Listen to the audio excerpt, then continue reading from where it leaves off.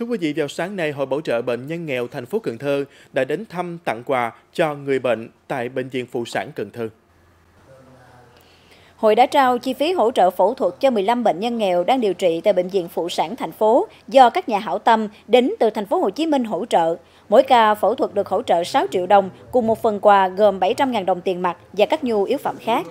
Trước đó, Hội Bảo trợ Bệnh nhân nghèo thành phố Cần Thơ và các nhà hảo tâm đã tổ chức trao 120 phần quà cho người mù có hoàn cảnh khó khăn của chính quận quyện trên địa bàn thành phố. Mỗi phần trị giá 1 triệu đồng, gồm 800.000 đồng tiền mặt và một số nhu yếu phẩm.